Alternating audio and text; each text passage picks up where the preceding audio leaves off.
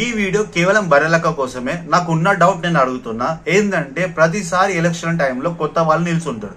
నిల్చున్నప్పుడు వాళ్ళు హామీలా తెస్తారు ఎట్లా అంటే మీరు మేము కనుక గెలితే ఇట్లా మంచి రోడ్లు స్కూల్ కట్టిస్తాం కాలేజ్ కట్టిస్తాం మంచి హాస్పిటల్ కట్టిస్తాం జాబ్ లేని వాళ్ళకి జాబ్లు తీసుకొస్తాం అని చెప్తాడు అవి నమ్మి ఓట్లు అయితే ఎత్తాం.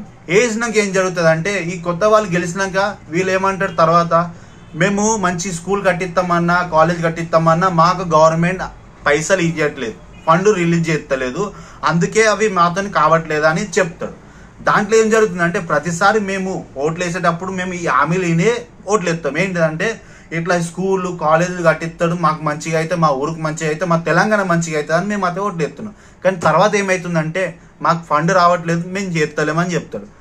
అప్పుడు మేమైతే మోసపోతున్నాం.